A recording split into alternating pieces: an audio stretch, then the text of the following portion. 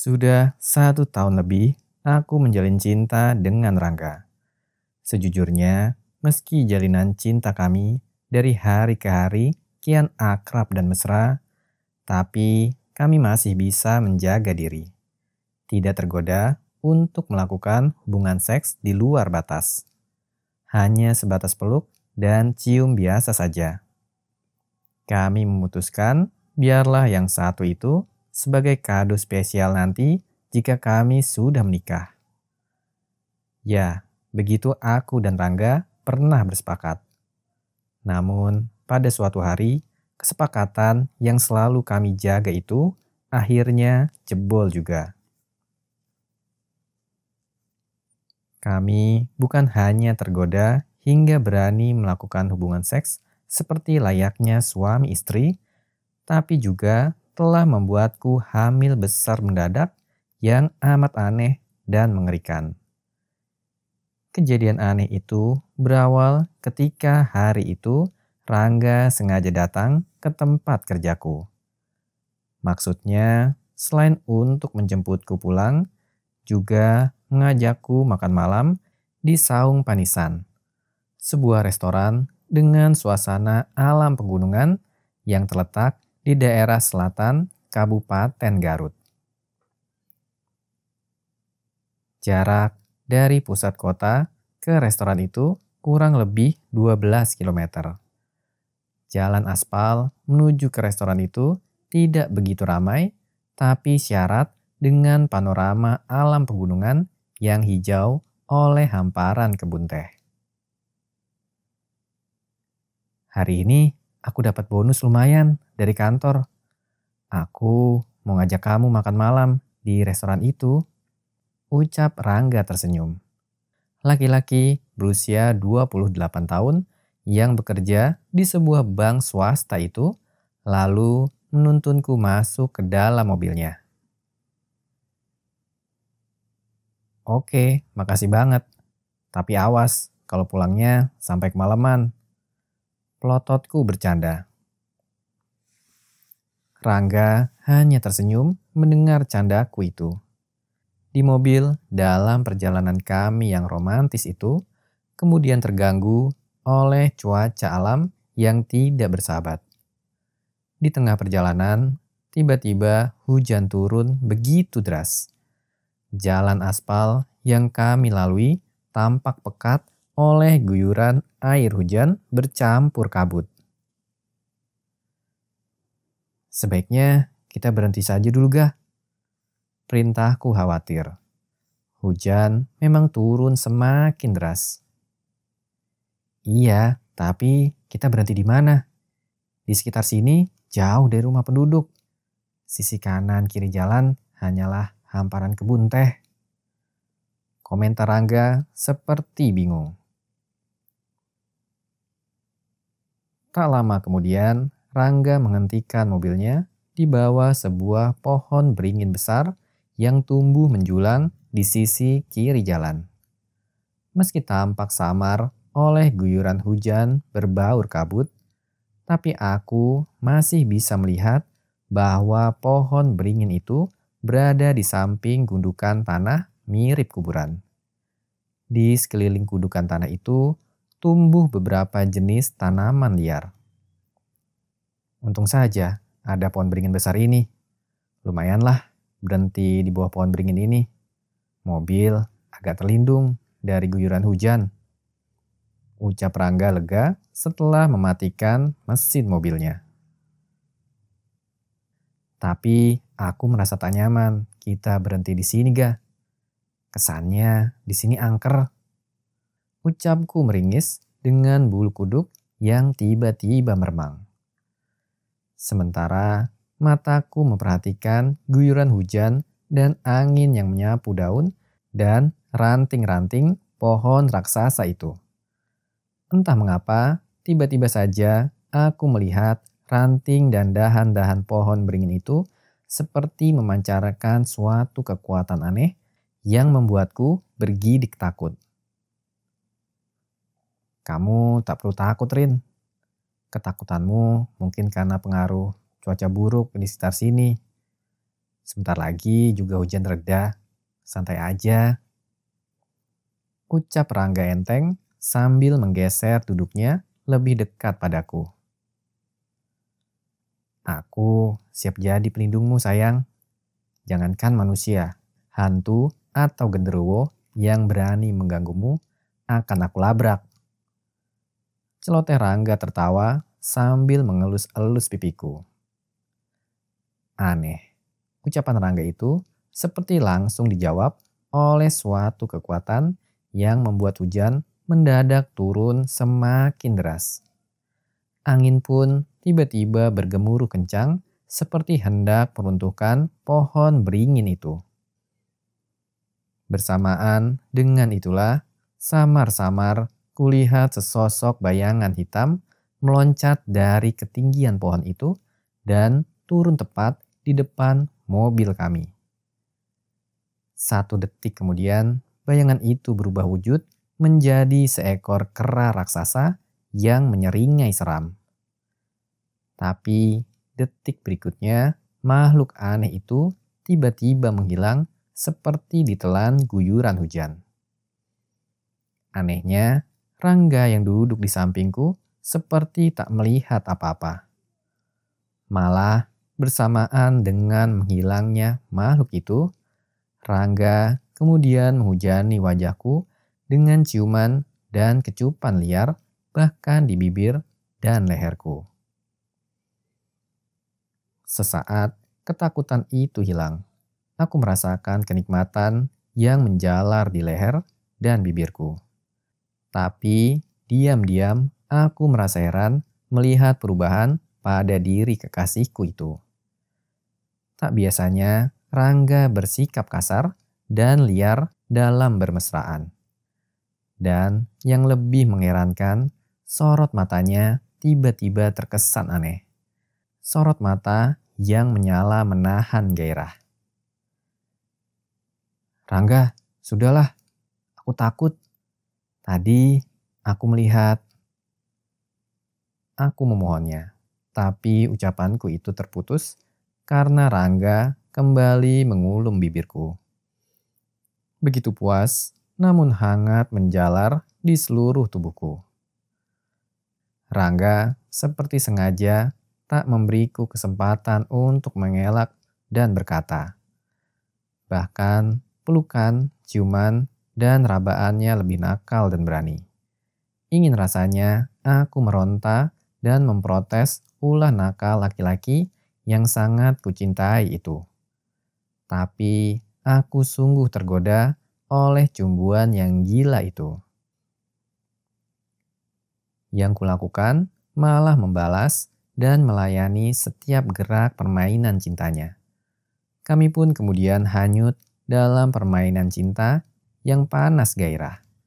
Suara, guyuran hujan, dan angin membuat kami lupa diri. Akhirnya, di jok mobil belakang, kami lalu menuntaskan hasrat seks itu dengan tubuh setengah telanjang dan posisi setengah rebah.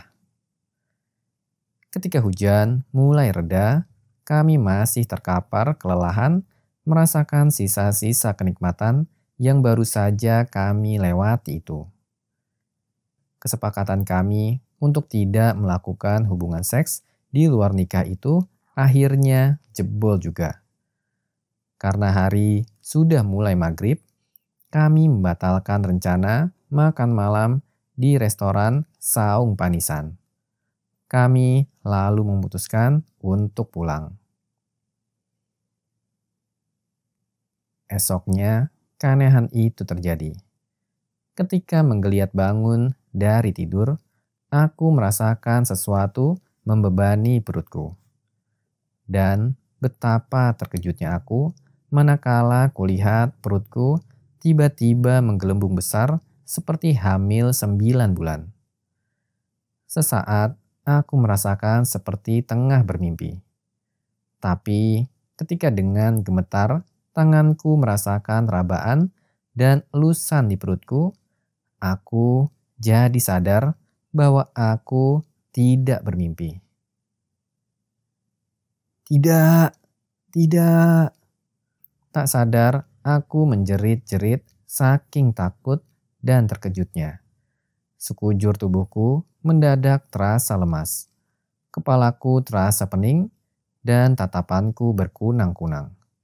Bersamaan dengan itu, samar-samar kulihat ayah dan ibuku berhamburan masuk ke kamarku. Ada apa Rini? Ada apa? Tanya ayah dan ibuku serempak dengan wajah panik dan heran. Namun, sebelum aku bisa menceritakan apa yang telah terjadi pada perutku, tatapan mataku tiba-tiba mengelam gelap dan akhirnya aku tak sadarkan diri. Ketika sadar, aku sudah berada di sebuah kamar berbilik bambu. Di manakah aku? Pikirku menerawang heran sambil mengingat-ingat apa yang telah terjadi pada diriku. Ketika aku mencoba bangkit dari terbaring, tiba-tiba aku merasakan lagi sesuatu membebani perutku. Refleks tanganku ini meraba-raba perutku. Dan betapa terkejutnya aku manakala tahu bahwa perutku masih menggelembung besar. Aku pun kembali menjerit-jerit, saking takut dan terkejutnya. Aneh heran, bingung, kesal, dan takut mendadak bersatu padu dalam dadaku. Tak lama kemudian, ayah dan ibuku masuk ke kamar. Disusul seorang laki-laki tua berpakaian gamis putih. Dan di belakang laki-laki tua itu muncul sosok yang amat ku kenal. Itu Rangga. Agaknya orang tuaku telah menghubungi Rangga dan menceritakan kejadian aneh yang telah menimpa diriku. Wajah kekasihku itu tampak pucat dan gelisah. Syukurlah kamu sekarang sudah sadar ini. Kamu pingsan cukup lama, hampir 24 jam lebih. Ucap ibuku sambil menghampiri dan duduk di bibir tempat tidur. Kami merasa heran dan panik melihat perutmu yang tiba-tiba membesar seperti itu.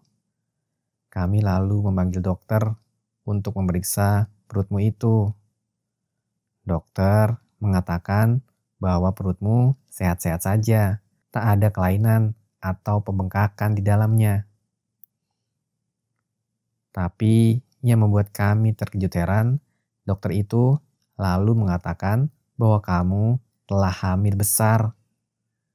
Jelas ayahku, dengan dahi berkerut dan berkali-kali menggelengkan kepala seperti tak habis pikir. Apa aku tengah hamil? Ah, tidak mungkin. Orang hamil itu harus melalui proses satu atau dua bulan, dan seterusnya. Mana ada orang hamil besar mendadak seperti ini?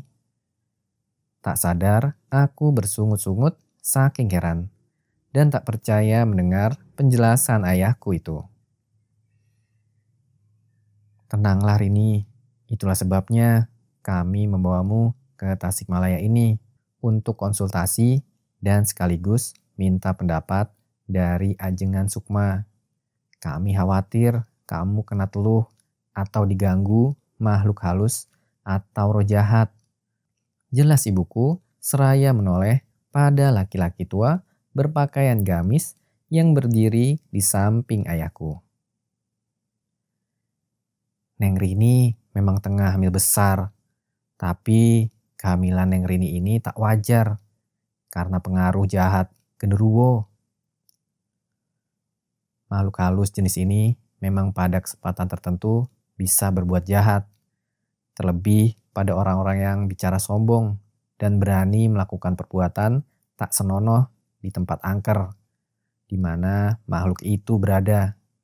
Jelas ajengan Sukma sambil menoleh ke arah Rangga.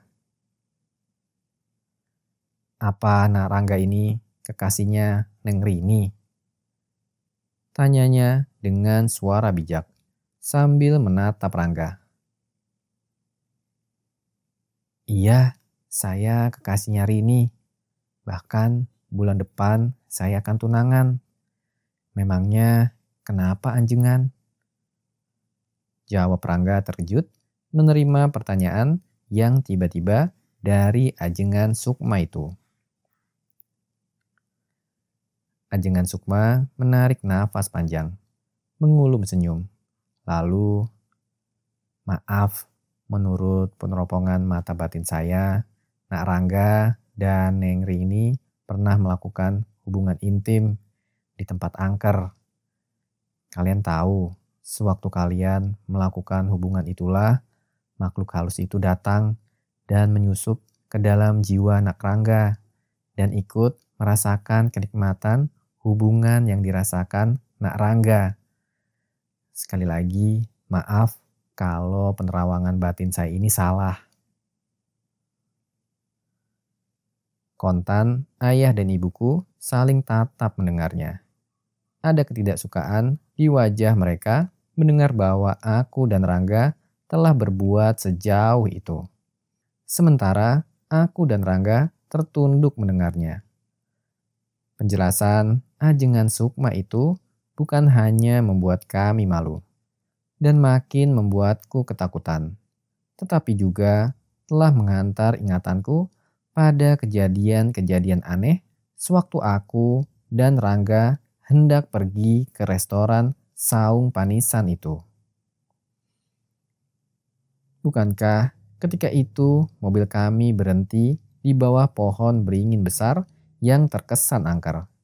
Ketika itu juga aku sempat melihat sesosok makhluk aneh mirip kera raksasa dan merasakan keganjilan pada diri Rangga saat berhubungan seks denganku. Diam-diam aku membenarkan penjelasan ajengan Sukma yang panjang lebar itu.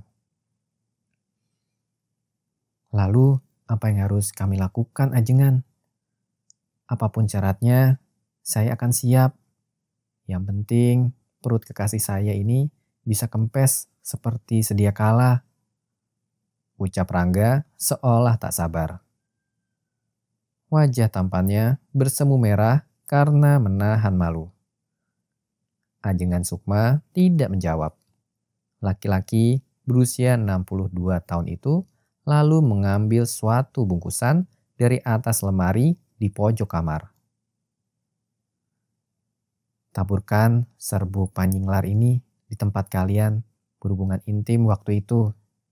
Tapi sebelumnya kalian harus melakoni beberapa syarat. Pertama, kalian harus bertobat dengan melakukan sholat sunnah taubatan nasuha. Lalu berpuasa selama tiga hari berturut-turut dan setiap malamnya kalian harus mewiridkan sholawat sebanyak 333 kali. Insya Allah perut Neng Rini akan mengempis seperti semula. Jelas ajengan Sukma panjang lebar. Begitulah, usai melaksanakan syarat yang disebutkan itu, aku dan Rangga lalu pergi ke tempat di mana pohon beringin besar itu berada. Dan kami melakukan hubungan badan di dalam mobil yang terparkir di bawahnya. Sambil membaca salawat, kami lalu menaburkan apa yang disebut ajengan sukma sebagai serbuk pangjinglar, yang bentuknya mirip tepung putih itu, dan ditaruh di tanah sekeliling pohon beringin. Setelah serbuk gaib itu kami taburkan, suatu keajaiban pun berlangsung. Bersamaan dengan selesainya kami menaburkan serbuk itu, tiba-tiba dari ranting-ranting bagian atas pohon beringin itu mengepul asap hitam yang kemudian membentuk suatu gulungan besar. Sesaat, gulungan asap hitam itu bergerak ke sana kemari. Namun kemudian membumbung ke angkasa dan akhirnya menghilang ditelan Mega. Aneh. Bersamaan dengan menghilangnya gulungan asap hitam itu, tiba-tiba perutku yang masih menggelembung besar itu mengempis seperti sedia kala. Alhamdulillah, ucapku dan Rangga sambil berpelukan dalam suasana haru dan bahagia. Tak ada kata-kata yang bisa menggambarkan kebahagiaan kami saat itu. Selain memanjatkan puji syukur kehadirat Allah Subhanahu wa taala. Hari itu juga aku dan Rangga sepakat untuk menemui orang tuaku dan meminta maaf kepada mereka. Sekaligus memohon restu mereka karena kami akan menikah bulan depan. Baiklah, sekian dulu episode kali ini. Terima kasih buat teman-teman sekalian yang telah mendengarkan cerita ini. Jaga kesehatan dan sampai jumpa lagi di episode selanjutnya.